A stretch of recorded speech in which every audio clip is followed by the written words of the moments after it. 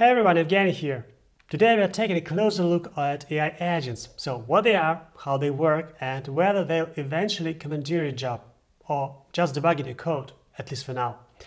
And imagine a little crowd of algorithms tirelessly doing the boring stuff, right? But make no mistakes, these aren't just little cute helpers. They're here to reshape how we think about work, tech, and maybe even who is really in charge.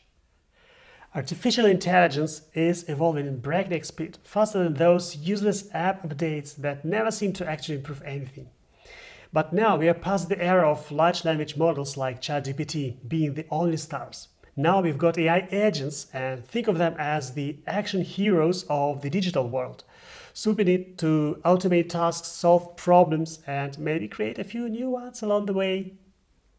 So think of AI agents as the next-gen upgrade from large language models like ChatGPT, only in this time they come as a twist.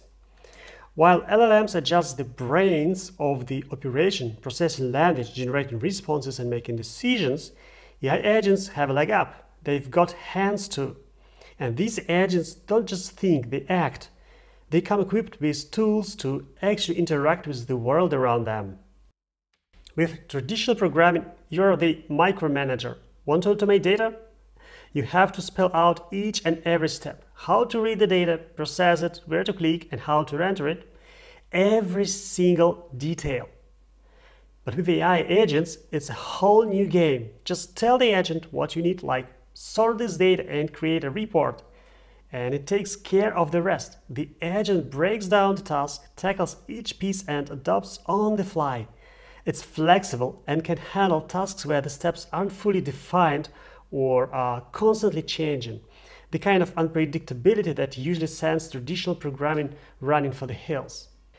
And one of the real superpowers of AI agents is their knack for using tools, predefined functions or APIs that take them far beyond the realm of basic language tasks. This magic happens through something called function calling, in essence, the agent can trigger a function like run a bit of Python code for calculation, whether it needs to, and no need for you to hold its hand. The agent knows when to reach for the right tool based on the task. And this makes AI agents remarkably flexible and capable of handling a wide range of real-world tasks. And let's check out a few tools that show this capability. Code Interpreter this lets the agent run Python code to analyze data, perform calculations, or even whip up visualizations. Or the agent can sift through documents, extract key insights, summarize or compare data across sources. Thousands of PDFs or even spreadsheets to go through? Well, no problem. And now here's the game changer. Some agents can search the web in real time, gathering up-to-date data info and weaving it into their workflow. Imagine asking an agent to research the latest industry trends and deliver a neat summary, hours of work done in minutes. And ready to see some practical examples? So here's what AI agents can tackle this is. Uh, let's take, for example, trip, trip planner.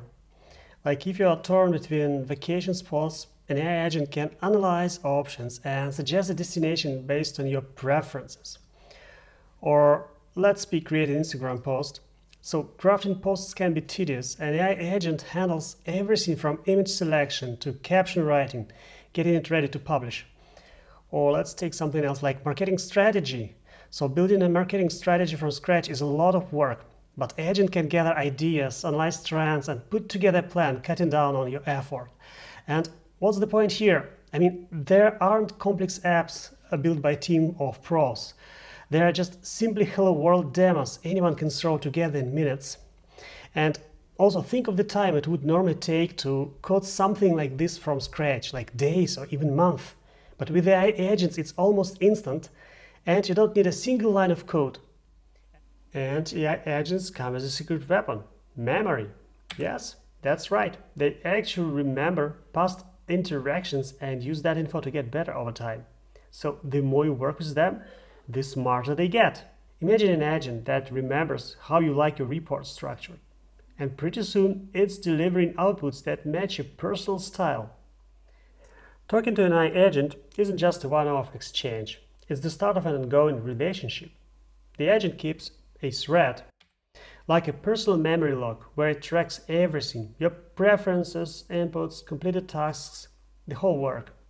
And this way it can handle long term projects without needing a refresher every time. One agent is handy, but bring a few together and you've got automation on overdrive. Multi-agent systems allow agents to collaborate, share intel, and tackle larger tasks that need a range of skills. Imagine this. One agent gathers the data, another processes it, and third crafts the final report. They, they work together, passing the bottom seamlessly to get the job done faster and with greater accuracy. Today we are using Agent GPT for the demo. Oh, setting up an account is pretty straightforward and the tool's free up to a point. So it's perfect for trying out AI agents. So what do we have here? First up, uh, let's talk about what powers every AI agent, the LLM. And with Agent GPT, even on the free tier, you're already uh, set up with GPT 3.5. And here's the point, so you get a good idea of what an agent can do right out of the box. And if you need a bit more horsepower, then Pro accounts can access GPT-4. And next up, the hands of our agents, its available tools. And yep, they're here. Right out of the box, we've got tools for uh, image generation, web searches, and even writing code. And if that's not enough, you can add your own tools. And notice there is no strict rule on when or how to use these tools. It's always up to the agent to decide, like choosing to write a Python script and run it if the task calls for it. Alright, moving on. What makes up an agent? In Agent GPT, it doesn't take much, just give it a name and set a clear goal. The more detail you put into the goal, the better it'll handle the task. Alright, today we are letting an AI agent loose on the internet with a single mission, find out just how much info it can dig up on someone. So, please meet Search Shield GPT.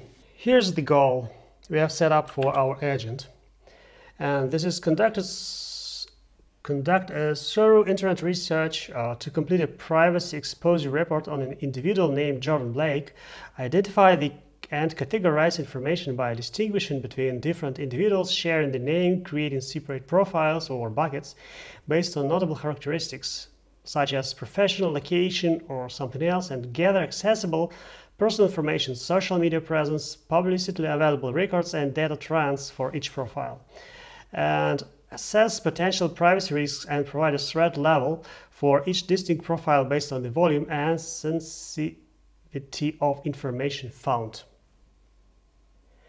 So let's dive in and see how our Search Shield GPT tackles this. Alright, the agent is up and running and look at this, it's already created its own list of starting tasks and jumped right in.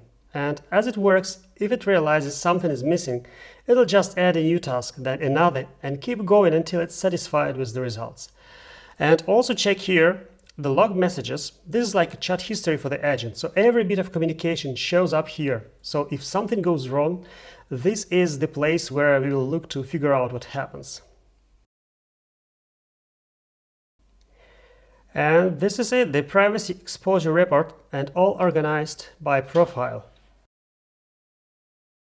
So see, we have here a John Blake, photographer and artist. We have a musician and an athlete. And everything is put into their own buckets and with some recommendations and, and, and we have this privacy report for everyone. But anyway, that's it for the demo. Just think if this AI can pull all this up in one go and imagine what it could find you next research project. Alright, we made it to the end of this video and hopefully things are a bit clearer now on what your agents are and why it's worth getting ahead of the curve before the rest of the world catches on. And yeah, check the next video on the topic, it's here. And that's it for today. I'm Evgeny, thanks for watching and I'll see you in the next one. Take care.